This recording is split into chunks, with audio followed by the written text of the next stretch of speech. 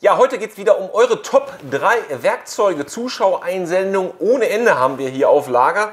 Und der Max Leser zu meiner Seite begehrt, berühmt, berüchtigt und liebenswert, sage ich immer, äh, hat alles vorbereitet. Ich weiß wie immer noch nichts. Wir äh, freuen uns auf zahlreiche Einsendungen im Querformat. Und wir starten hier mit dem Kollegen Ansgar. Mahlzeit, Bauforum 24. Heute meine Top 3 Werkzeuge. Das wäre zum ersten der Akkuschrauber von Makita, der DDF 482. Das ist ein solides Gerät mit einem 3 Ampere Akku, völlig ausreichend und sogar einer Ladestandsanzeige am Akku. Den benutze ich in Kombination mit einem Bohrerset und einem Bitset. Die braucht man am meisten dafür, aber auch möglich in andere Kombinationen, wie zum Beispiel mit Steinbohrern. Mein zweites Lieblingswerkzeug ist der Bosch Winkelschleifer von der Professional-Serie der GWS 15125 Ci. Dieser ist jedoch ohne Drehzahlverstellung, was aber überhaupt nichts ausmacht. Der Winkelschleifer hat 1900 Watt, völlig ausreichend. Hier mit einer Schnellspannmutter, damit spart man sich hier diese lästigen Schlüssel. Verwende ich in Kombination mit Parkside Trenn- und Schubschreiben. Davon habe ich natürlich gleich mehrere, weil die gehen ja auch runter wie nichts.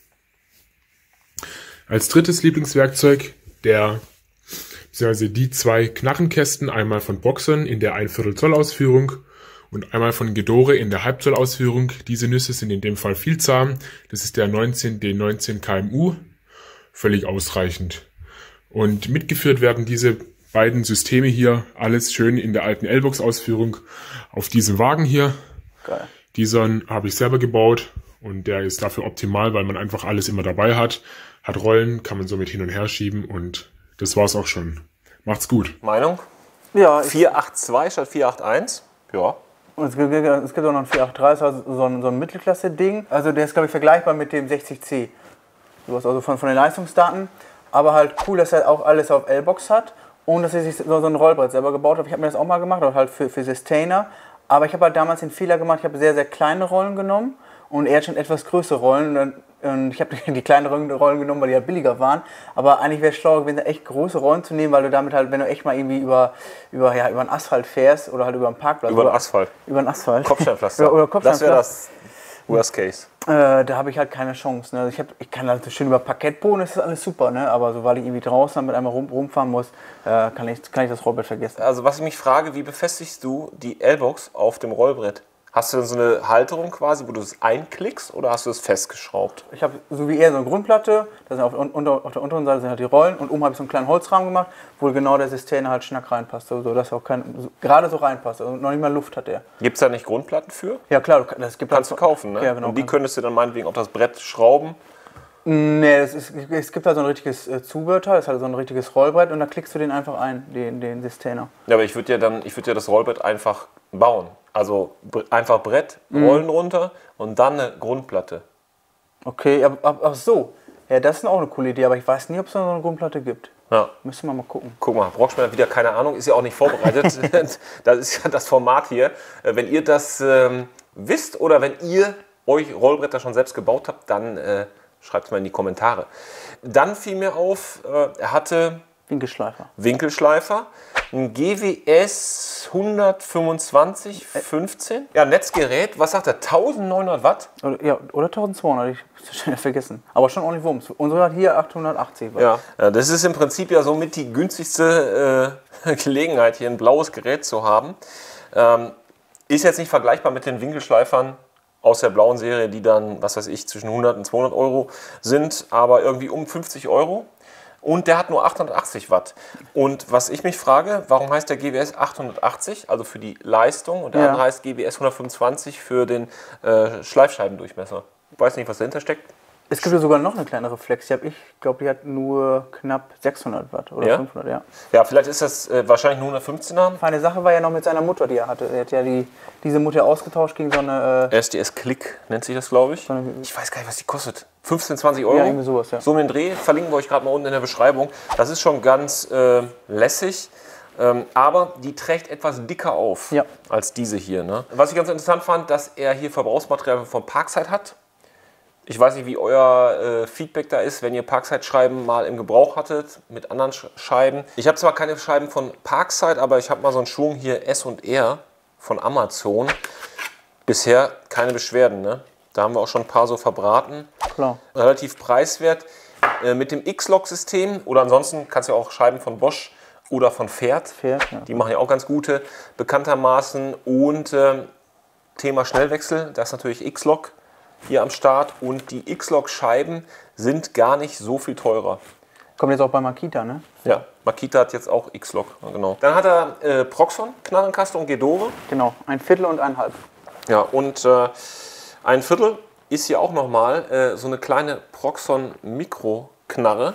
Die ist aber direkt für Bits, ne? Jo, so ähnlich wie halt die Vera, ne? Genau, geht so ein bisschen in den Bereich, ich glaube so um die 15, 16 Euro habe ich bezahlt. Das ist auch schon ein besserer Preis als für die von Vera, weil ich glaube, die kostet halt solo, glaube ich, um die 40 Euro. Ja, ja, ja. Also die haben wir ja, glaube ich, auch hier, ne? Es war sehr schön gearbeitet, aber ich glaube, ja, 40, 50 Euro, eigentlich unfassbar. aber äh, weiter geht's hier im Zirkus mit äh, dem Klaus. Auch ich wollte mich beteiligen mit meinen Lieblingswerkzeugen. Da wäre zum einen mal die Bosch GOB 4030. Ich verstehe gar nicht, warum Handwerker immer so schimpfen auf die Multitools. Ich als Renovierer muss sagen, die ist super. Gerade wenn es eng wird, komme ich überall damit hin. Ein klasse Gerät. Dann war mein Lieblingsgerät meine alte Bosch CB 850 RLT. Die habe ich mir mit 15 Jahren zum Geburtstag gewünscht.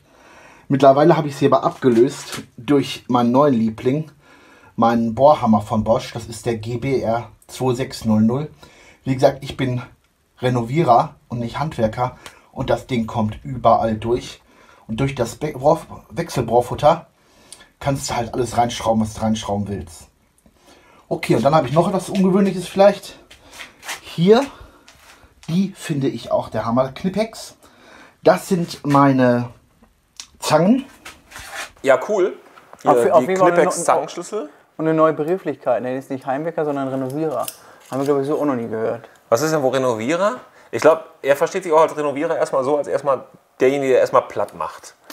ne? Aber auch neu macht. Ja, ja, klar, aber erstmal, Er- Deswegen hat er auch den Fußball erstmal platt machen. ja genau, Fuba hat er gar nicht erwähnt. Das ist im Prinzip der kleine Meinungsverstärker, haben wir euch auch schon öfter gezeigt. Und Renovierer erinnert mich auch gerade so an unser Herrenzimmer im äh, altenglischen Stil, was wir ja gerade hier so realisieren. Wir haben ja schon den Fußboden fertig, aber äh, nächste Woche kommt ja der Christian, Ja. hilft uns beim Tapezieren und dafür müssen wir jetzt erstmal von der Einwand die alte Tapete runter, obwohl ich die ja vor einigen Jahren noch hier komplett renoviert habe, komplett Wände gespachtelt, Raufaser drauf und das kommt jetzt alles ab.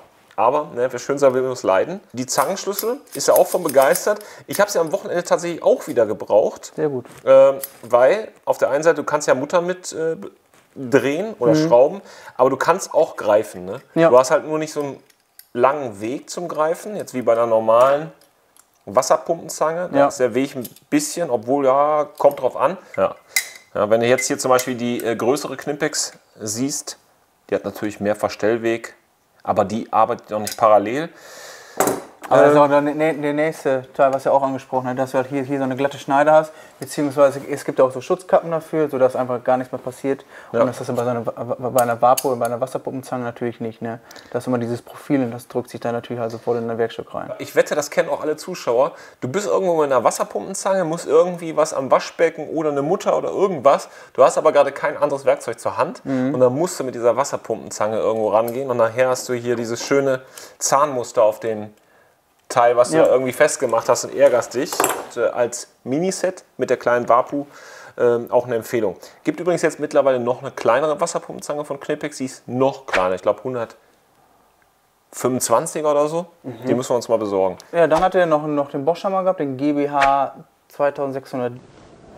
Auch eine coole Maschine, gerade, was hat er auch gesagt, ich finde, ich mag das halt auch äh, mit diesem Wechselbohrfutter, dass du halt auch SDS hast, aber halt normales äh, Bohrfutter, weil es halt zum Renovieren halt auch wieder geil ist. Ich habe letztens auch bei jemandem geholfen, der hatte auch genau die Maschine und ähm, ist halt echt sehr, sehr universa- universal, weil du kannst natürlich halt erstmal wegstammen etc., Fliesenspiegel, dafür reicht das völlig, dafür ist sie auch sehr, sehr gut, weil er, weil auch angenehm ist vom Gewicht. Ja.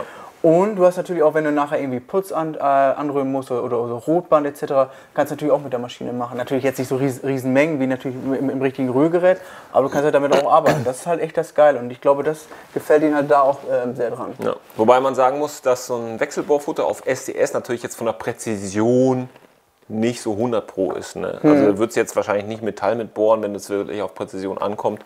Nee, aber, aber- um eben mal zu bohren, Genau, ich Passt das sagen, schon, ist das ja. schon eine gute Sache. hat die GBH, äh, der GBH 26F, hat das ja auch im Lieferumfang, also Genau, der wir ihn haben. Genau, der F. Und es gibt den ja noch als, als nur als GBH 18V26. Und der hat das nämlich nicht. Hatten wir auch schon ein paar Leute jetzt auch in, in den Top 3 Werkzeugen, die ja auch dieses äh, Werkzeug gekauft haben, sich da aber nicht richtig informiert haben, weil sie dann gesehen haben, okay, es gibt ja noch den F, der gerade dieses Wechselbaufutter hat. Ja. Und das macht meiner Meinung nach schon echt Sinn. Ich weiß jetzt nicht, wie hoch dieser Preisunterschied ist, aber äh, man sollte den Preisunterschied auf jeden Fall mitgehen, weil das ist echt schon eine feine Sache. Wir machen mal folgendes: Wir verlinken mal beide Versionen unten in der Beschreibung. Könnt ihr euch nochmal angucken, aber im Zweifel auf die F-Version und Ja. äh, mit der Staubabsaugung. Ne? Die ist natürlich auch mega, die du Genau. beim F haben kannst. Klar. Ja, was ich noch cool fand bei der Bosch CSB äh, vom Design, ne? Mhm. 1985 musst du dir vorstellen. Und ich finde das Design eigentlich zeitlos. Mit Ja. den ganzen Knöpfen und so und auch die Farbgebung mit dem Orange und mit dem äh, Grün. Finde ich cool. Ja. Ach schon, und Multicut hat er angesprochen. Dass ja viele Handwerker darauf fluchen, weil- wo ich dann gedacht habe, hä, echt?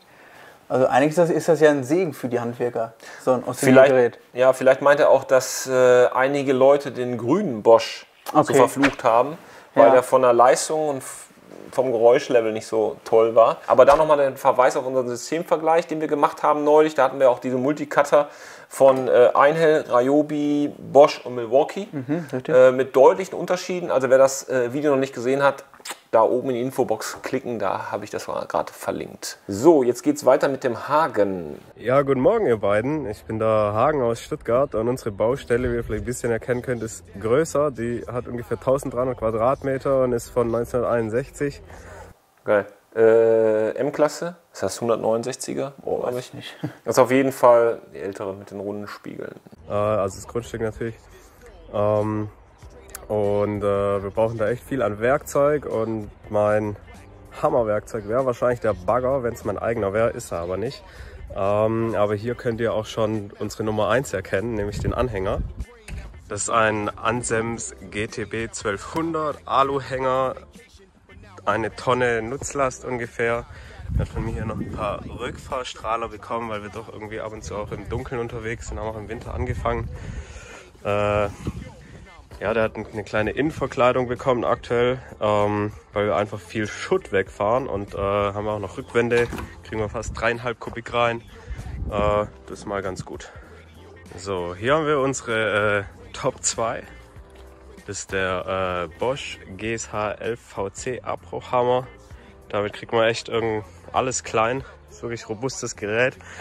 Den hat hier jeder Helfer auch mal ver vergewaltigen dürfen auf unserer Baustelle. Funktioniert wirklich gut. Und äh, auch die Dämpfung ist sehr gut. Also arbeiten damit macht Spaß.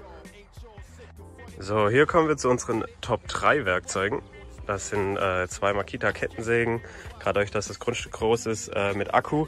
Wobei eher zum, hier einmal zum Fällen mit dem 35 cm Schwert. Ich denke, als nächstes werde ich da auch ein 40er Schwert dran machen, die Duck 353. Ähm, und für kleine Arbeiten und- oder auch mal äh, natürlich nicht in einer Hand, die Duck 254 äh, kann ich wirklich empfehlen.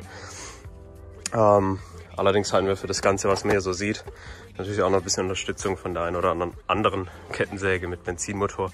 Gerade zum Kleinmachen, wenn es dann gefällt ist, äh, hilft das schon. Ich würde euch ja gern äh, noch mehr zeigen. Wir haben so viel Werkzeug da, werden noch so viel Werkzeug benutzen, aber das war jetzt wirklich das, äh, wo wir bisher am meisten verwendet haben. Äh, mal schauen, vielleicht müssen wir einfach mal ein zweites Video noch machen. Ähm, jo, der hat einiges an Arbeit. Also das sah schon wüst aus. Ja, glaube ich, über 1000, 1300 Quadratmeter Grundstück. Ja, Schon, auf jeden Fall. Was ich äh, absolut nachvollziehen kann und mit Sicherheit du auch, ist Anhänger. Ne? Ja, auf jeden Fall. Das, ich mit, das ist, glaube ich, auch der Erste, der, der jetzt sowas auch damit reingenommen hat. Und da habe ich dann auch äh, bei, der, bei, bei, bei der Sichtung gedacht, okay, das ist äh, smart. Weil, ähm, ja, was machst du denn, wenn du so, so ein Projekt hast wie er mit, mit, mit, seiner, äh, mit seiner Family? Du hast, du hast jetzt nur hast noch einen schicken SUV, aber du willst auch nicht alles da im Kofferraum machen. Und dann, dann bist du ja nie fertig. Und dann, okay, eigentlich, eigentlich cleverer Schachzug, okay, ich kaufe mir einen Anhänger Und ähm, ja, wenn das Haus dann fertig ist, dann entweder behalte ich den oder ich hau den halt wieder, verkaufe den halt wieder. Ja. Und von daher echt eine coole Lösung. Weil ich mag ja unseren Kofferanhänger total gerne. Ja. Also, ich, also ich bin jetzt kein, kein Profi-Anhänger, wir haben ja zwei Anhänger, wir haben diesen Kofferanhänger und wir haben ja diesen, ja, wir nennen immer die- diesen, diesen Pferdeanhänger. Obwohl Im Moment, ich sehe jetzt einen. Nein, nenn ihn nicht Pferdeanhänger. Ja, Das ist kein Pferdeanhänger. Nee, aber er ist von von der Bauform ähnlich. Das ist das Chassis. Okay, ja. Und auf jeden Fall fahre ich, fahr, Und das sind beides Kofferanhänger. ja, aber ich fahre mit, mit, mit den schmalen Kofferanhänger fahre ich total gerne, weil der auch nicht breiter ist als das Auto. So, weil wir haben der S-Max ja relativ breit und der eine Kofferanhänger, mit dem ich so gerne fahre, der passt genau dahinter. Und da, da fühle ich mich Den halt siehst du dann gar nicht, ne? Ja, Wenn du nicht dran denkst. Ja, und ich fühle mich halt irgendwie sicherer. Und ich glaube, den gibt es ja sogar noch höher und sogar noch ein bisschen länger. Ne? Ja. Wenn äh, ihr das noch nicht gesehen habt, äh, schaut euch mal das Video an, was ich da euch gerade oben verlinke, als wir nämlich unsere beiden Anhänger gekauft haben. Und ursprünglich wollte ich ja nur den großen Kofferanhänger kaufen. Einer wäre auch cool. Äh, die haben wir damals äh, von Koch Anhänger und äh, die Anhänger gehen jetzt gerade ins dritte Jahr. Werden wirklich häufig gebraucht und Ja. äh, für mich war das auch die absolut richtige Entscheidung, den großen zu nehmen und den kleinen. Weil zum Beispiel jetzt hier wirklich große Sachen brauchst du den großen. Wenn du ein Ja. Motorrad mal transportieren Ja, okay, willst, wie okay. letztens passiert, brauchst du den großen. Aber dieser kleine hat ja irgendwie ein Eigengewicht von um die 150 Kilo. Ist im Prinzip rein, das Chassis ist noch äh, verzinkter Stahl, aber ansonsten nur Aluminium und Edelstahl. Genau. Wirklich komplett bis in den letzten Winkel. Lustigerweise war Max heute gerade wieder los und hat hier mal die halbe Werkstatt wieder mit USB gefüttert. Äh, Perfekt, also USB-Platte ist ja immer 2,5 Meter fünf und unser Anhänger hat, glaube ich, ein Innenmaß von 2,6 Meter sechs oder sowas. Also es passt perfekt. Und äh, dann den äh, Bosch Abbruchhammer. Ja. Da hattet ihr auch mal nachgefragt, ob wir mal äh, reine Abbruchhämmer testen. Ich habe da schon ein bisschen was vorbereitet. Wir hatten noch mal Testgeräte angefragt. Da ist aber in der letzten Zeit nicht so viel passiert. Aber ähm, nochmal der Verweis auf unser äh, Video mit den Abbruchhämmern, mit den Kombihämmern. Genau. Das war ja ganz interessant. Da haben wir einen Parkside gegen Bosch und Metabo laufen lassen. Und Parkside hatte gar keine Chance. War im Prinzip, Ja, der war Ja. der Verlierer, obwohl der Parkside auch, ein- auch ein reiner Abbruchhammer war. stimmt. Aber äh, Und dafür war er noch deutlich schlechter. ja, genau. Aber du hast am meisten von, also er war am nachhaltigsten, zumindest in der Wirkung in den Hand. Ja, das stimmt, das stimmt. Ja, cool. Dann äh, geht's weiter mit Marco. Hallo, liebes Bauform 24 Team. Äh, auch ich möchte euch heute meine drei Lieblingswerkzeuge vorstellen. Dazu zuerst mal meine Stiel 038 AV. Hat noch echt Power, trotz ihres hohen Alters. Habe ich von meinem Großvater geerbt. Perfekt zum Fällen oder Ablenken von Bäumen. Äh, zum Entasten dann die kleine 017. Zweites Lieblingswerkzeug ist mein GSR MX2 Drive. Den habe ich von euch geschenkt bekommen. Super Alltagshelfer, vor allem gerade beim Umzug und bei der Renovierung. Wenn es dann mal draußen doch was mehr Power benötigt, nehme ich den äh, GSR 18V 85C. Der hat echt Leistung und kommt überall durch. Dann mein drittes Werkzeug ist mein Shepard HL 1500 Twin. Der hat mit 15 Tonnen echt genug Power, um auch Meterstücke mit vielen Ästen ähm, zu spalten. Und wenn es dann mal doch die kürzeren Stücke sind, kann man hier die Stufen drunter klappen. Äh, somit sehr vielseitig, super Helfer, äh, hat mir schon viel Arbeit erspart. Ich bedanke mich für euer Format. Weiter so und bis zum nächsten Mal. Euer Marco. Den Ja. Schluss hier, den Sp- äh, Spallautomat. Hatten wir, glaube ich, auch noch nicht. Ja. Ich habe mit dem Holzspalter schon bei uns gearbeitet und da hat das Ding aber äh, ein Leck in der Hydraulik gehabt. Und ich habe mir die ganzen äh, Terrassenplatten versaut. Ich habe das auch erst nicht gemerkt. Dann hatte die ganzen Platten voller Öl. Und das zieht ja in den Stein ein. Fand ich nicht so toll. Und was mich damals genervt hat bei denen, den wir hatten, war, der war relativ langsam. Also du spaltest das Holz, das ist noch ganz interessant, aber dann halt die Rückwärtsbewegung wieder, dass das Ding wieder äh, und du den nächsten darunter legen kannst, finde ich immer. aber Ich weiß nicht, wie die äh, sind vom, von der Geschwindigkeit. Ähm, ansonsten, äh, was hatte er als erstes? Äh, als erstes- Kettensägen? Kettensägen, genau. Und Genau. Das passt ja auch wieder ans Thema. Ja, ist, glaube ich, auch ein nettes Hobby, so als, als Heimwerker etc. Oder als, oder als Hausmann, so ein bisschen Kamino zu machen. Hat auch irgendwie sowas, was, was, was, was, was, was, was, was Urisches irgendwie. Ja, ich muss hier Holz machen, damit, damit die Familie es irgendwie warm hat. Kann ich nicht nachvollziehen. Obwohl ich, glaube ich, immer so noch mehr der Freund wäre, das alles nur mit, mit Hand zu spalten. Aber ich glaube, wenn du da irgendwann mal 15 Kubikmeter vor dir liegen hast, dann freust du dich auch, wenn du dann halt so ein, so ein Maschinchen dabei hattest. Ah, Der hat ja zwei Größen gehabt, irgendwie eine zum Fällen. Ja, Oder- eine 41 hatte der, glaube ich. Ja, und dann hat irgendwie so eine kleine, vielleicht zum Entasten etc. den GSR, den Two Drive. Äh, Und der war tatsächlich bei uns aus der Verlosung. Ja. Das hatten wir ja letztens auch schon mal. Da war auch irgendjemand, der was bei uns gewonnen hat, den Bosch-Hammer. Ja. Und dann die Katana Genau. 500. Nee, das. Nee, Doch, das war die 500. die, ja, war das die? Nee, das war, Nee, das war eine kleine Katana. das war eine kleinere. Aber dann hat mir der mit der 500 ein Foto, glaube ich, geschickt. Oder irgendwann war das so. Die aus der Mensch gegen Maschine. Ja. Und ähm, ja, das Bosch sah alles relativ neuwertig aus. Oder auch gut gepflegt. und gut gepflegt. Ja, st- stimmt schon. Ne? Also wir haben den ja euch neulich im Livestream nochmal gezeigt, was er so drauf hat. Ähm, ich habe gehört, es gibt ihn leider aktuell nicht mehr. Ähm, und die, die es noch gibt, äh, werden jetzt schon zu ganz schön krassen Preisen gehandelt. Ehrlich? Ja, hat mir auch einer bei Insta, glaube ich, geschrieben. Er sagte, ja, gibt es nicht mehr. Ich glaube, ja, auf Insta hat mir das einer geschrieben. Der sagte, gibt es nicht mehr. Und seitdem äh, die nicht mehr produziert werden, sind die Preise ziemlich hochgegangen, weil äh, schon praktisch. Krass. Ja. Wenn sie das Ding jetzt noch hätten mit äh, Lademöglichkeit über USB oder so, das wäre noch Ja. cool, ne? Und auch ein paar richtig schöne Schnittbilder. Ich hätte das gerne mal in Action gesehen. Das Jo, Ding. jo. Und den Trecker. Den muss er nochmal nachliefern. So, weiter geht's mit Michael. Ja, hallo, schönes Bauforum 24 Team. Hast du gehört? Schönes Baufunk 24 Team. Bild mal Tons. Hallo André, hallo Max. Bin der Michael aus Österreich und ich stelle euch meine Top 3 Werkzeuge vor. Krass, jetzt ist jemand aus Österreich. Wir haben der nichts ge- gesagt, ey. und der, ja, der gibt sich wirklich Mühe. Also äh, relativ äh, Hochdeutsch zu sprechen. Aber ich habe Wäre mal eigentlich. interessiert, wenn auch einfach einmal einer einfach so halt frei Schnauze spricht. So wie Ja. er halt auch mal spricht mit seinem. Oder wenn wir mal Leute aus der Schweiz haben, die uns mal ein Video schicken, die sollen mal richtig, richtig oh, ihren witzig. Dialekt sprechen. Das wäre auch mal ganz witzig. Allerdings müssten sie es dann vielleicht noch synchron übersetzen oder so. Nummer 3 haben wir das Set vom Viha. Sind VDE-Schraubendreher und auch gleichzeitig die Installationszange von Knipex.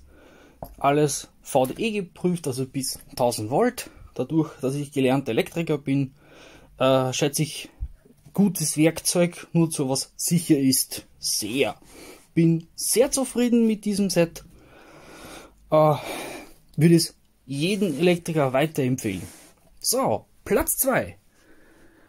Habe ich meine kleine Sammlung, wirklich kleine Sammlung von meinen 12 Volt Geräten. Dieser hat von denen Platz 2 hat Platz 1 da der BS12A von Würth.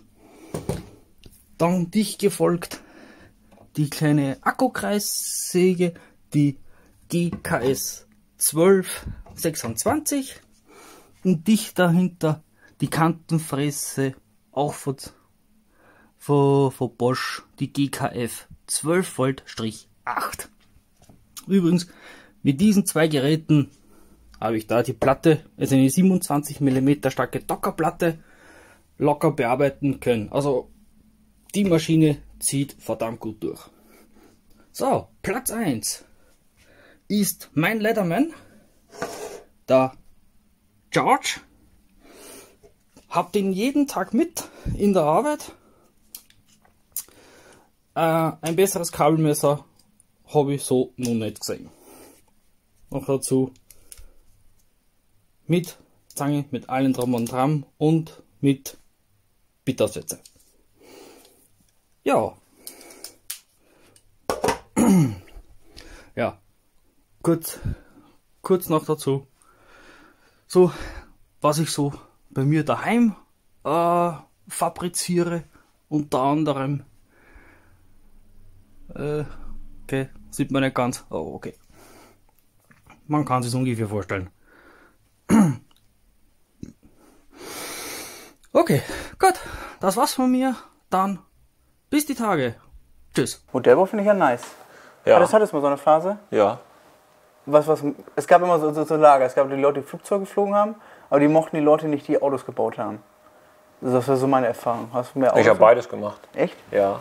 Ich Wobei ich äh, viel Autos gemacht habe. Und da weiß ich noch, dann hattest du irgendwie ein neues Modell und dann war ich die ganze Nacht, habe ich da dran gebaut, bis das Ding fertig war und ich am anderen Tag fahren konnte. Geil. Da war ich auch echt komplett im Tunnel drin, Elektro oder Benziner? äh, sowohl als auch. Aber mehr, äh, früher mehr Benziner Mhm. und dann Elektro. Ich hatte auch. Ich, hatte leider nur einen, aber mit dem bin ich echt sehr, sehr gerne gefahren. Und dann habe hab ich mich sogar einmal im Kofferraum gesetzt oder durfte mich in den Kofferraum setzen und dann durfte ich mit meinem äh, Renner hinterher fahren. Ich hatte, ich hatte so, so einen Buggy, weil ich wollte immer ins Gelände fahren. Es gab ja diese Flachbahnrenner, Ja. dann gab es diese Buggys und dann gab es die Monster Trucks. Und ich hatte immer so einen Buggy. Aber gut, was hat er noch für Werkzeuge gehabt? Also Bosch hatte der gehabt, Kantenfräse, Äh, genau, Handkreissäge. 12 Volt, ja, kann man sagen, passt. Aber dann auch wieder ein Wirt-Akkuschrauber, wo ich mir dann denke, hm, Ja gut, ist ja ein Bosch. Ja, ja, klar. Aber wie kommt er dann auf den Wirt? Genau, das meine ich. Ne? Vielleicht wie die Mutter zum Kind oder geschenkt bekommen oder ein Wirtvertreter kam vorbei. Und gesagt, hier, nimm mal. Nimm mal, ich weiß nicht wohin damit. Unser Viha-Set. Ja, die Installationszange Zange. Ist cool von Knipex, die verlinken wir euch gerade mal unten, weil die vereint ja mehrere Funktionen im Prinzip. Ne? Ja. Du kannst Kabel mitschneiden, du hast so eine Spitzzange, so ein bisschen Kombizange mit dabei. ähm, Und was er noch hatte, war der Leatherman. Leatherman äh, oder Multitools hatten wir euch ja auch mal gezeigt. Hatten wir den Leatherman Charge auch? Weiß ich nee, gar nicht. Charge hatten wir nicht. Aber wir hatten zumindest welche auch mit Bits. Klar. Ähm, ja, aber bestes Kabelmesser? Schlussendlich muss ich halt auch mal sagen, ist das, das, das, äh, das Swiss Tool für mich halt auch mal noch das, die bessere Alternative. Es sieht halt nicht so, so spektakulär cool aus wie Leatherman. Also Leatherman, die sehen halt alle cool aus. Das, sind Am- Amis, ne? das, das muss man halt so, so Der Schweizer ne? ist ein bisschen dezenter. Genau. Ja, zwar ist halt auch sehr, sehr schön vom Gehäuse, weil es sehr schön hochpoliert ist. Aber so rein vom, vom richtigen coolen Look ist halt Leatherman vorne, das muss man halt so sagen. Ja, Und ich glaube, das, das, das zieht auch die meisten Leute zu Leatherman. Ja. ähm, so, weiter geht's mit dem Jens. Aber mir wird ein bisschen warm. Ja. In der Werkstatt ist ja wieder. Lass uns mal irgendwie. Du auch, ne? Ja,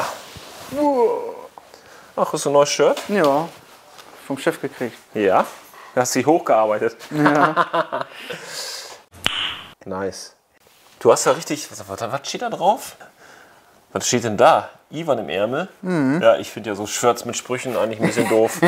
ähm, so, weiter geht's mit Jens. Hallo, liebes Bauforum 24 Team. Ich bin der Jens, bin 19 Jahre alt und das sind meine Top 3 Werkzeuge. Der Parkside PBSA 12C2. Dazu das passende Bitset von Workzone, leider schon in die Jahre gekommen und ein wenig rostig. Ist aber richtig praktisch. Von Powerfix der, der Rädchenkasten. ein bisschen Auswahl für zum am Auto schrauben oder auch generell nur mit ganz normale Bits. Die Nummer 3 ist die Einhell-Zugkap-Gärungssäge TCSM 2131 Dual. Und was in keiner Gar ja, bei mir ist jetzt Garage die Werkstatt, aber in keiner Werkstatt fehlen darf eine Musikbox von Silvercast. Da würde ich mal sagen, hier, die Silvercrest Bluetooth Box, das ist ja wohl mal eine dreiste Kopie von den Kollegen hier, Marshall. Da haben wir mittlerweile auch mehrere, eine große, hier diese, dann haben wir noch eine mit Akku. Ähm, Finde ich sehr cool. Hatten wir euch auch mal im Baustellenradio-Special gezeigt. Und ich habe gesagt, eigentlich finde ich das vom Sound her cooler als die meisten Baustellenradios, bei weitem. Äh, du hast natürlich jetzt hier nicht Spritzwasser geschützt und solche ja. Gesch äh, Geschichten. Ne? Ähm, aber muss man entscheiden. Aber gerade jetzt hier für die Werkstatt äh, sehe ich das Ding definitiv weit vorne. Ja. Haben wir jetzt auch schon öfters gehabt, dass die Leute sich auch, auch, auch richtig dicke Anlagen oder eine alte Anlage irgendwie in die Werkstatt gebaut haben mit, mit unfassbar großen Boxen. Ich weiß gar nicht, was sie damit, was sie damit versuchen äh, wollen. Ob die einfach den, den Maschinensound damit übertönen wollen mit, ihren, äh, mit ihrem Radio. Aber ich bin auch irgendwie auf seiner Seite. Also du musst halt immer so ein bisschen Beschallung musst du mal haben Ja. auf der Baustelle. Wenn du sagst, so Radio oder irgendwie ein Podcast oder sowas, ähm, ohne ist das echt mega langweilig. Gerade wenn du so eintönige Sachen hast, gerade wenn ich halt immer am Schleifen bin und ich weiß, ich muss bestimmt anderthalb, zwei Stunden schleifen. Ja. Und wenn du dann keine Musik hast, dann gehe ich auch fast auch gar nicht in die Werkstatt, weil ich brauche halt irgendwie immer was, damit halt auch die Zeit besser rumgeht. Und da Ja. Oder mit Kopfhörer. Aber mit Kopfhörern arbeiten, boah, riecht mich immer auf. Weil ich habe keine, ich hab keine Bluetooth-Kopfhörer, sondern halt ganz normale ähm, mit Kabel und dann bleibst du immer über irgendwo Ja, hängen. du weißt nicht, wo das Handy, da musst du das Handy irgendwo hier, aber du hast Ja. keine Brusttasche und dann Genau. genau, dann bleibst du irgendwo mit dem Kabel, geht gar nicht gut. Nee, nee. Vor allen Dingen, weil du dir immer denkst, ja, ich weiß, ich habe das Kabel, hier, jetzt passe ich auf. Ja, ja. Nach zwei Minuten hast du es schon wieder vergessen und passt nicht auf. Genau. Was hörst du für Podcasts momentan? Äh, fest und flauschig Ja, und, Jan Böhmermann und Olli Schulz. genau, und gefühlte Fakten. Ich höre in letzter Zeit viel äh, den Podcast von ähm, Atze Schröder Okay. und Leon Windscheid. Weißt du, wer Leon Winscheid ist? Nee. Das ist der Typ, der bei Günther Jauch eine Million gewonnen hat und dann die MS Günther Ach so. gekauft hat. Ja, okay. Die jetzt MS Günther heißt. äh, Dieses äh, Partyschiff Ja. auf dem Kanal in Münster. Also wenn ihr äh, Podcast hört, gerade in der Werkstatt, gerade beim Werkeln, dann äh, merkt euch mal fest und flauschig. Und äh, mein Tipp wäre gerade betreutes Fühlen. Also von mir bekommt ihr heute nun auch die Top 3 oder auch Flop 3 Werkzeuge. Da wollte ich mich auch gerne mal anschließen. Und dann starten wir auch gleich. Und zwar bei mir in der Werkstatt gibt es tatsächlich einen kleinen Kompressor. Dann die, meine Top 1 ist die Bosch GTS 10 XC. Habe ich seit einem halben Jahr und leistet super Arbeit und ist auch sehr genau, ideal für meine Ansprüche. Und dann haben wir noch die Hobelbank von meinem Opa, die ich übernommen habe, war Tischler so wie ich. Und meine Top 2 ist dann das Japan-Sägen-Set. Leistet sehr gute Arbeit beim Zinken zum Beispiel oder auch für andere filigrane Sägearbeiten, sage ich mal, wo man mit ein bisschen Gefühl beigehen muss. Top-Werkzeuge, besonders auch für Hartholz, super geeignet. Dann mein Top 2, beziehungsweise ist ja schon Top 3 jetzt. Dann den Exzenterschleifer von Bosch. Leistet sehr gute Arbeit, auch trotz des Filterkastens habe ich nur positive Erfahrungen mitgemacht. Funktioniert super, die Staubabsaugung, beziehungsweise dass der Staub dann in den Kasten fällt, habe ich keine Probleme mit. Ja, Ole hatten wir schon mal. Ole hatte damals, glaube ich, die Flops, seine Flops gezeigt. Genau. Ähm, ja, Bosch GTS 10 XC. Gibt es ja mittlerweile seit einiger Zeit auch äh, schon die überarbeitete Version mit der geteilten Spannschutzhaube. Wir haben hier in der Werkstatt noch die ältere Version, ne? Ja. Genau, wir haben noch nicht die geteilte Spannschutzhaube. Ansonsten äh, haben wir auch die Erweiterung mit der äh, Triton Oberfräse in der ähm, Einlage. Aber äh, das Problem ist, wir haben ja hier so viele Sägen und deswegen kommt die XC relativ selten bis äh, eigentlich gar nicht zum Einsatz. Aber wir haben sie trotzdem lieb und äh, ja. Ähm, dann den Exzenterschleifer. Ähm, ja, ohne externe Absaugung würde ich die nicht betreiben, auch wenn die natürlich diese integrierte Absaugung haben, aber ich habe da nicht so gute Erfahrungen mit und gerade wenn du jetzt hier so große Flächen schleifst oder so, du Ja, hast einfach schneller, dass, dass es sich zusetzt und äh, ja. Und dann hat er eine Hobelbank gehabt. Ich glaube, also von Opa. Das ist halt schon echt eine, eine Rarität, so eine Hobelbank. Ne? Gerade wenn man das halt, also erstmal an sich für das Werkzeug ist es schon sehr, sehr, sehr praktisch. Aber wenn man dann so noch hingeht und sagt, okay, ey, das ist von meinem, von meinem Opa, der ist halt auch Tischler, der hat auch schon dran gearbeitet, ist es ja noch um, um Faktor 10 viel, viel cooler. Und umso schöner, wenn halt der, der, der Enkel da jetzt auch irgendwie dran, dran geübt hat für, für seine Prüfung, das Zinken etc., äh, wo, ja, wo wir dann auch schon wieder bei seinen Japan-Sägen sind. Und ähm, sogar ein sehr ausführliches Set. Ich glaube, der hat, jedes Modell hat der vertreten da in, in seinem Segeltuch. Bin halt auch ein Riesenfan von, äh, von Japan-Sägen, weil du hast ja den Vorteil, erstens hast du mal ein sehr, sehr filigranes Blatt, wo du dann auch sehr, sehr filigrane Schnitte mitmachen kannst. Und die sind immer sofort einsatzbereit. Also die sind ja immer halt gehärtet, die, die Zähne. Das heißt sofort, du kannst halt sägen. Wenn du zum Beispiel jetzt irgendwie einen Fuchsschwanz etc. kaufst oder manchmal auch Feinsägen, ist das manchmal so, dass sie gar nicht ähm, es gibt keine Ausführungsschärfe.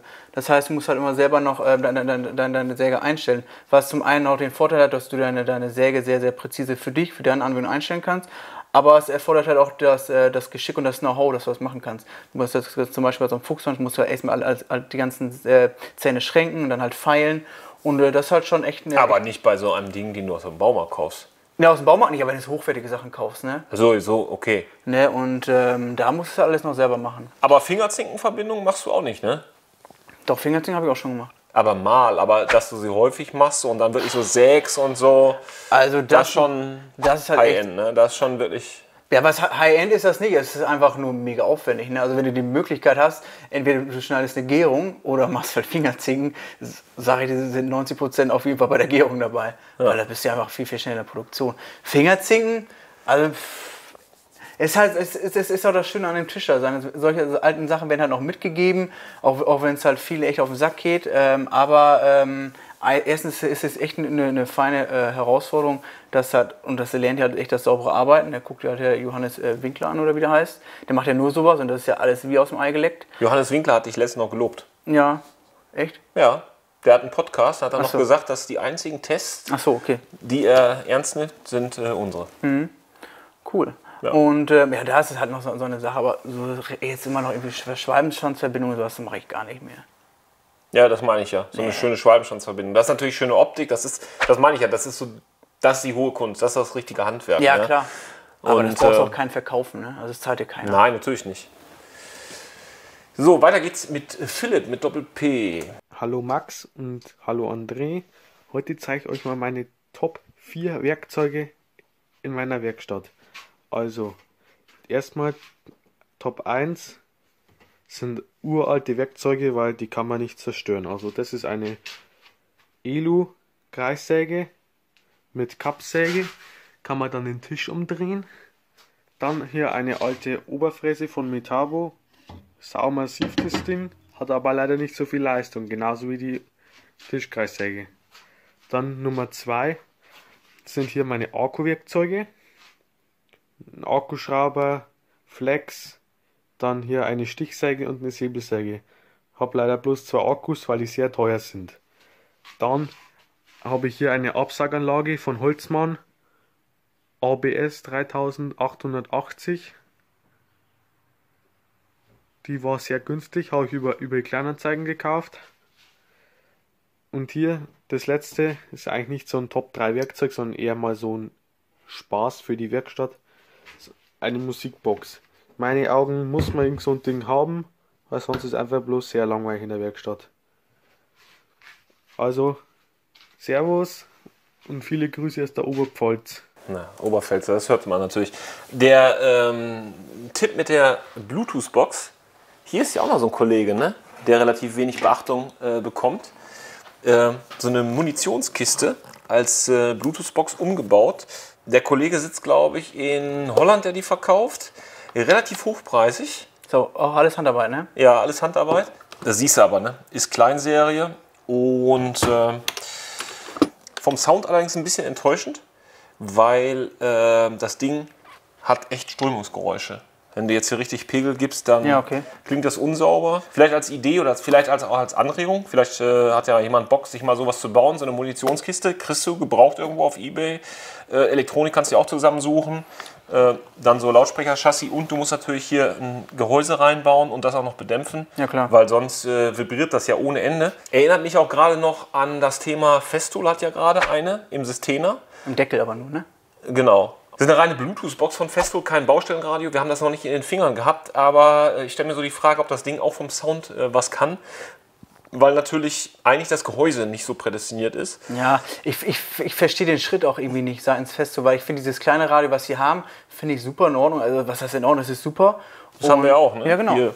Ist für die Größe genial, muss man sagen. Auf, Ne? Absolut, absolut. Ja. Und ich finde, ich, ich weiß jetzt auch nicht, warum die jetzt in so einen Sustainer-Deckel bauen, was das soll. Das ist auch relativ teuer. Der kostet der Sustainer 240 Euro oder sowas. Also Listenpreis bei Festool. Und ich finde, das Radio ist einfach echt so klein und praktisch. Wenn du echt einen kleinen Akku da hinten dran machst, stellst du ja irgendwo in in- Ecke in der Baustelle oder auf, auf der, in, der, in der Werkstatt. Schade bei dem Festool ist nur, dass du jetzt hier keinen Haken hast. Um den Haken zu haben, um das irgendwo aufzuhängen, musst du den Akku rausmachen. Und dann hast du hier so eine Adapterplatte. Dann hast du hier eine Adapterplatte. Jetzt könntest du es irgendwo hinhängen. Aber Das ist ja die Frage mit Strom, ne? ja, dann musst du ein Netzteil haben. Ja, weiß nicht. Das macht dann für mich auch irgendwie äh, keinen Sinn. Ähm, da hätte man so einen Haken noch meiner Meinung nach integrieren können. Oder zumindest eine eingegossene Öse oder irgendwie Ja, sowas, wo du dann einen ja. Karabiner oder irgendwas dran machst. Aber soundmäßig äh, bei der Größe kommt das schon an die, ähm, ich würde mal sagen, kleineren Makitas ran. Ja. Ähm, Also ich finde es super, also wirklich. Ja. Ich, ich, ich mag halt auch die Größe. Ich, ich bin auch so ein bisschen so ein kleiner Verfechter von diesem Dewald-Radio, was dir eigentlich sehr, sehr gut schmeckt, weil mir es einfach viel zu groß ist. Ne? Ich habe auch kein, auch, auch dieses, dieses Format ist in Ordnung, so finde ich noch, aber ich finde das Festo ist halt einfach cool. Das ist einfach so ein kleines schnuckliges Radio, was einfach in der Ecke steht, so ein bisschen Musik ist. Ich brauche jetzt auch kein Konzert immer halt auf, der Baustelle, sondern einfach nur, dass ein bisschen Beschallung ist. ja. Das ist für ja, mich dafür so. ist es perfekt. Ja. Weil ich höre auch ganz gerne mal ein bisschen Bass. Ein bisschen Pegel. Mhm, ja. Ja gut, ja, ja dann ist Und dafür, da habe ich dann eigentlich hier auch mit dem, und da habe ich eigentlich auch mit den Makitas jetzt wieder Frieden geschlossen. Ja. Mit der äh, neuen Serie hier, ne? Da ist ein Zapfwoofer. Ich weiß nicht, sieht man das eigentlich? Ist auf jeden Fall schon ein bisschen schwerer. Ja, hier unten ist ein Zapfwoofer drin. Den hörst du ja auch, ne? Okay. Und Antenne im Griff auch. Ja. Und DAB und Bluetooth. Ja, dann hatte Philipp eine Kombisäge, Cup und äh, Tischkreissäge Tischkreissäge von Elu. von Elu, genau. Elu, ähm, ist dann später ähm, an Stanley Black Decker verkauft worden und äh, die Elu DNA lebt heute in den DeWalt-Geräten noch fort. Ähm, deshalb hat D, deshalb hat D-Volt auch äh, diese Kombisägen, die man halt so flippen kann. Guck mal, wir haben euch ja mal eine Säge von Scheppach, war die, glaube ich, ne? Ja. gezeigt.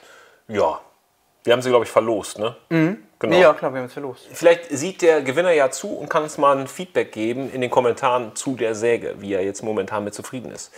Äh, und was war noch hier angesagt bei Philipp? Äh, die hatte noch eine Absauganlage und äh, hatte eine alte Oberfräse von Metabo. Absauganlage würde ich normalerweise nicht in die Top 3 nehmen, weil da gibt es erstmal einige Werkzeuge, die überhaupt den Staub machen müssen. Ja, okay. ähm, und die Absauganlage, die erste, die ich mir gekauft habe, war wirklich, als ich einen Hobel hatte. Mhm. Weil der Hobel macht ja wirklich so viel Spanabfall, äh, dass du mit einer normalen Absaugung eigentlich keinen Meter mehr hast. Weil A vom Volumen, aber eine normale Absaugung, selbst mit Zyklop, du hast ja dann einen 50er Schlauch vielleicht und das ist zu klein. Ja, klar. Der sitzt sofort zu. Und eine alte Metabo-Oberfräse. Er hatte nur äh, den Nachteil, oder er meinte nur, hätte zu wenig Leistung. Leistung, ne? Mich haben in den letzten Tagen wieder relativ viele Leute gefragt über Instagram, Thema Oberfräsen. Ich muss mal dazu sagen, über Instagram und auch über Facebook geben wir eigentlich keine Kaufberatung, weil geht nicht. Da kannst du, brauchst du gar nicht anfangen. Ähm, deswegen wundert euch nicht, falls es mal nicht beantwortet wird oder wenn es in der Regel nicht beantwortet wird. Aber es schrieb jemand, ob man mit der Makita 700 auch richtig fräsen könnte. Würde ich sagen, definitiv. Es sei denn, du machst jetzt wirklich richtig Hardcore-Sachen, dann brauchst du ein bisschen mehr Leistung. Ne? Ja, das ist halt immer nur, die Frage, ne, wenn du jetzt einfach, ja, Das ist ja auch Geschwindigkeit, Vorschubsgeschwindigkeit. ja und vor allem wie tiefer, wel- welchen Hub du auch mal brauchst. ne, Wenn du jetzt sagst, du, du, fräst immer nur in, in einem Material zwischen 10 und 15 Millimeter, ähm, bist du eigentlich mit solchen Maschinen gut, ähm, gut, schon gut ähm, ausgelastet. Sei das aber sein, okay, du fräst auch mal 50 oder auch oder noch mehr und dann halt auch Massivholz, ne? Ja gut, da wirst du mit, mit einer 1000 Watt Maschine natürlich auch nicht mehr fertig werden, ne? Und äh, da brauchst du natürlich schon viel, viel mehr Leistung. Aber das ist ja auch, ähm, ja immer, das ist ja das ist immer so oft das, was, was wir sagen, ne? Kommt drauf an, was du machen willst und was du auch machst, ne? Wie gesagt, der Zweck heiligt die Mittel. Ja. Du musst immer gucken, was du mit der äh, Maschine machst. Und wenn du erstmal kleiner anfängst und merkst dann, ich komme an die Grenze, dann kannst du vielleicht nochmal eine Nummer größer dazu kaufen. Trotzdem, wenn du jetzt eine große Oberfräse hast, die würdest du nicht mal als Kantenfräse einsetzen, wie zum Beispiel die kleine Makita. Ne? Ja, klar. Ja. Weiter geht's mit äh, Sebastian. Gute André, gute Max. Gestern habe ich euren Livestream zumindest teilweise verfolgen können. Und da habe ich gedacht, heute nehme ich euch mal mit dann in meine kleine bescheidene Werkstatt. Auf geht's! Kurz zu mir. Mein Name ist Sebastian, bin 35 Jahre alt und Maschinenbautechniker. Die Werkstatt hier war bei unserem Hauskauf vor zwei Jahren dabei. Es ist nicht mehr so das Neueste, aber es erfüllt noch seinen Zweck. Ja, was treibe ich hier so den ganzen Tag? In erster Linie mal Sachen, die mir in den Kopf kommen für unser Häuschen. Oder aber einfach, was mir Spaß macht, wie zum Beispiel, ich lerne jetzt Wickschweiße mit dem schönen Maschinchen hier der Firma Güss. Oder aber durch mal zwei kleine Helferlein, was man hier ganz gut sieht. Getreu dem Motto, die Kinder machen es kaputt, der Papa macht's ja wieder ganz. Dann kommen wir mal zu meinen Top 3 Werkzeuge, die sich mehr auf der Seite der Werkstatt befinden. Ich wusste es. Hast du eben am Anfang gesehen? Oben rechts das Makita-Schild. Dieses Makita-Schild mit dem Makita-Ökosystem. Ja, ja. Das ist eigentlich so eine Erinnerung, so eine Visualisierung, das will ich alles mal haben. Achso, ich dachte, du meinst oben links, was ist das? Ja, das? Makita, genau, das, Das das, ist ja- das so gefräste ne? Schild. Ja, aber da war auch das Makita-Ökosystem. Ach, die- ach, mit den ganzen Geräten, Ja, ja. sodass du weißt, ah, das könnte ich noch und das könnte ich noch und das könnte ich noch. Und mal hier schön mit äh, Vitrine gemacht, perfekt. So mit so Glasböden, ja, oder meint das ernst? Das wäre auf Platz 3 das Makita DMR 108 Baustelleradio, weil ohne Musik geht bei mir gleich mal gar nichts und wir können mal gucken, was hier so läuft. Ah, Unsere Playlist, wie geil. Uptown Girl TNT, Daydream Believer, Cars, Goldener Reiter, Elektriker von Alexander Mark. Ja, unsere Playlist, ne? wer die noch nicht kennt, äh, einfach bei Spotify Bauform24 suchen, dann bekommt ihr die Playlist angezeigt. Und die Playlist äh, besteht äh, zum großen Teil aus Zuschauerwünschen aus einer Werkzeug-News-Folge, äh, garniert ein bisschen mit meinem Musikgeschmack und die ist wirklich komplett durchgewürfelt. Ne? Ja, Von äh, Hardrock bis Elektro, bis Schlager, bis, äh, ja, also ich finde, ich höre die selber immer noch ganz gerne. Die ist ja auch relativ, sie sind über 1000 Titel drin. Ähm, dann, ne? Ich mache die immer auf random.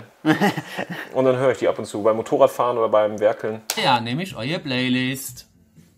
Auf Platz 2 wäre der DHP 484 von Makita Für mich ist es der beste Kompromiss zwischen Maschinegewicht und Drehmoment. Und jetzt vielleicht noch mal ein kurzer Hinweis an die ganze Makita-Bekloppte da draußen. Ihr braucht den 481 gar nicht. Der macht nur die Handgelenke kaputt. Für Platz 1 konnte ich mich jetzt gar nicht entscheiden. Deswegen habe ich alles, was ich auf Platz 1 sehe, in meinem Werkzeugkoffer drin. Das sind zum Beispiel die Vera Joker Ratscheschlüssel oder auch der Knipex Ergo Strip oder auch der Picker Dry oder die 1 Viertel Zoll Vera Speedknarre oder aber auch den GLM 50C, den ich übrigens auch auf Empfehlung von euch mal angeschafft habe. gewesen sein von meiner Seite. In dem Sinne, bleibt gesund, macht weiter so, ihr seid klasse. Und ich werde jetzt noch ein bisschen hier das Brutzel üben. Also dann, ciao, ciao. Die Hesse. Ja. Dem fehlt immer das N, ne? Erinnert mich immer ein bisschen an Daniela Katzenberger. Ja? Der Akzent, ist das nicht auch, kommt der nicht auch aus der Ecke da? Ja, ich glaube schon irgendwo. Aber bei der Katzenberger konnte ich mich noch nie so auf den Akzent konzentrieren.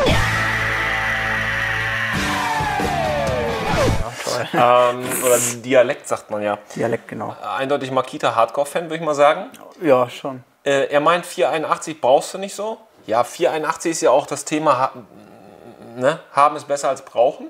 Der macht die Handgelenke kaputt, wenn es übel läuft. Denn der Makita hat keine Kickback-Control. Das heißt, wenn du jetzt hier wirklich mal im großen äh, Forstnerbohrer oder sowas arbeitest und das Gerät verkantet sich, dann macht es wirklich so und äh, das ist äh, schmerzhaft. Ich hatte auch mal eine Erfahrung damit. Ja? Ja, ich hatte auch mal eine Erfahrung mit äh, Kickback. Äh, ist irgendwo in den Outtakes zu sehen. Variante, falls er doch Kickback hat. Äh, ja, der hat echt ordentlich, wie sagst du immer, Ivan im Ärmel. Ja. Ähm, aber er hat auch so eine Kickback-Controller, so eine Sicherheitseinrichtung, dass er dir nicht das Handgelenk bricht. Denn äh, Kraft hätte er dazu. Ja, und ansonsten, äh, das war ja schon ein bisschen mehr als Top 3. Dein Werkzeugkoffer ist natürlich ein kleiner Trick. Ne? Ja. Ich kann mich nicht entscheiden, dann packe ich mal meinen Werkzeugkoffer und übrigens habe ich da das, das, das, das, das. Ich kann dir aber äh, zustimmen, GLM, klar, war ja auch eine Empfehlung von uns. Ich Ja. mag das Ding sehr. Preis-Leistung ist auf jeden Fall gut. Mega. Äh, wir haben aber noch den GLM 120 Mhm. und den benutze ich dann schon wieder lieber, weil haben es besser als brauchen. Und du hast diese Kamerafunktion, die ja der 50er nicht hat. Ne? Nee, nee, das stimmt. Und Pika Dry hat ja mittlerweile einen knallharten Konkurrenten. Äh, den werden wir euch demnächst äh, nochmal zeigen im äh, nächsten Special Smarte Werkzeuge. Und weiter geht's mit Sven. Ja, guten Tag, liebes Bauforum 24 Team. Heute stelle ich euch meine Top 3 Werkzeuge vor. Dann würden wir hier anfangen mit dem Engelbert Strauß Maßband 50 Meter Länge. Das gefällt mir besonders gut, denn das Band ist aus Stahl gefertigt. Das heißt, wenn man jetzt eine Wiese ausmisst und da würden spitze Gegenstände drin liegen und man würde das Band durch die Wiese ziehen, dann kommt es wie bei einem Plastikband nicht so schnell vor, dass dies kaputt geht. Als nächstes haben wir den Metabo PowerMax BS Quick 10,8 Volt Klasse. Dieser gefällt mir besonders gut, da er sehr gut in der Hand liegt, ähm, sehr leicht ist und eben auch, wenn man jetzt etwas bohren muss oder eine Schraube beidrehen muss, dann kann man hier einfach Bohrfutter runternehmen und äh, danach Bit wieder rein, etwas äh, anschrauben und dann Bohrfutter wieder drauf und dann einfach Gas geben und los geht's. Dann zu guter Letzt hier meine Stiel MS 661C mit 63 cm Schneidgarnitur, Vollmeister Zahnkette, die gefällt mir. Also diese Säge be- habe ich auch bei meiner Top 3 dazu genommen, weil ähm, wenn man jetzt Bäume fällt im Forst oder so, da mit dieser Säge hat man nie Probleme, da, weil es hier nie an Leistung fehlt.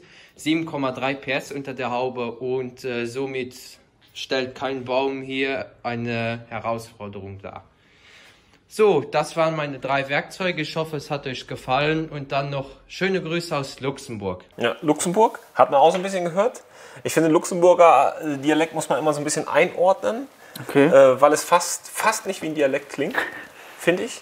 Aber ähm, ansonsten die hätte ich mit gerne. 7,3 PS, 63er Schneidkonjunktur, da ist natürlich schon, Boah, das, das im Duell so, boah, die zieht ja alle das ist weg. quasi unsere beiden Slogans hier Zusammen. zusammen. Ne? Das ist die Säge, die er da gerade hatte. Aber mit so einem Moped hätte ich ja gerne auch, glaube ich, noch was Kleines zum Entasten. Weil mit so einem Kavenzmann da ausputzen und so ist er natürlich nicht wieder so toll. ist halt Bizepstraining, ne?